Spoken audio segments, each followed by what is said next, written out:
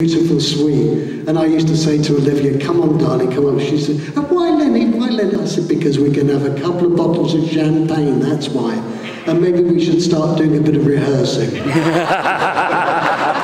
because you know, we were absolutely, and a lot of people said it was just like a publicity thing, but I just knew that, that this was a fantastically wonderful young woman.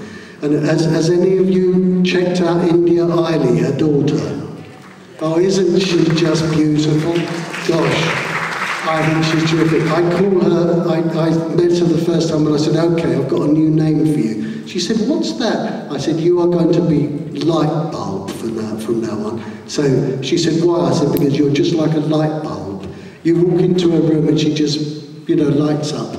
Anyway, I did the, the, the thing, um, the audition and then the screen test and learned that I got the part. And I was very, very happy about that, as you can imagine. And um, I said to my headmaster at school, um, I've got this part, and he said, you have to do your exam exams. And I said, oh, well, forget the exams, you know, I want to go to Italy. So uh, that's what we did. And for me, as you can imagine, am I going on too much here? Yeah? oh, you say all the nicest things?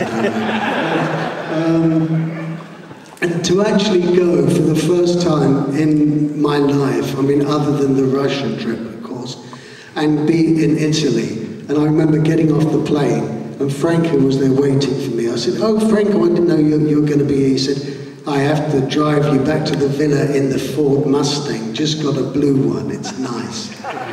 It was just fantastic. 1966 GT Mustang went like the clappers. Anyway, um, so that was nice. Can you imagine what it was like to be in Rome as a young man and to see Rome for the first time? Just full of golden yellow light and sort of, I don't know, sunlight everywhere. Um, since then, I've had a continued and loving relationship with Bella Italia. La Bella so, uh, I've, I've heard that you indeed did have a crush on Olivia, and that Olivia, when she was here, I um, asked her about that, and she said, well, she didn't have a crush on you, she had a crush on Franco. And then I asked her who Franco had a crush on, and she said, not me, darling. and for those of you that don't know, Franco is gay, okay? And it's all over Romeo and Juliet, if you ask me. I mean, it is a very beautiful homoerotic film, and you know, those cod pieces and those tights and those gloves.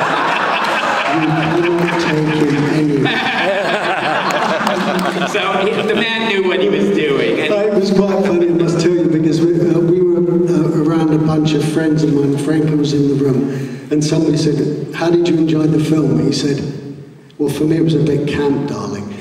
And Franco went, Camp? Leonard, camp? What is camp? I don't know what camp is.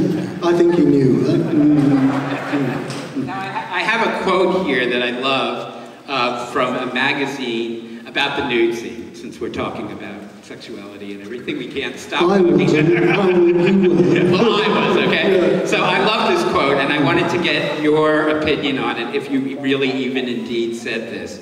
So it says um, Olivia Hussey on filming the nude scene in Fab magazine, 1969. You remember Fab magazine?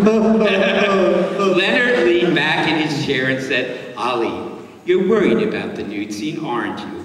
I must have turned super red. I knew all I could do is whisper a soft yes. Leonard worried about me being embarrassed too. Olivia, he said for the first time, not using Ollie as a nickname, I wish we were both born brother and sister. Then we could play this nude scene without any of these problems or feelings. When we have to do this very difficult scene, in my eyes, you'll be more fully and beautifully clothed in perfect sincerity and goodness of your sweet mind. You'll be surrounded and protected by a brilliant shimmering light that will enable me to see only your eyes nothing else. Jesus said that just like Shirley Temple. what a great actress you are.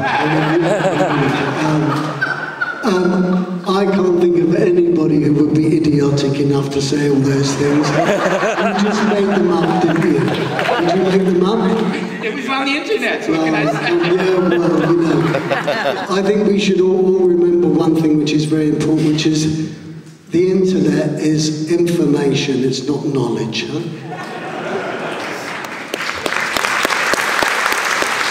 And I will add, Facebook is not real life, too.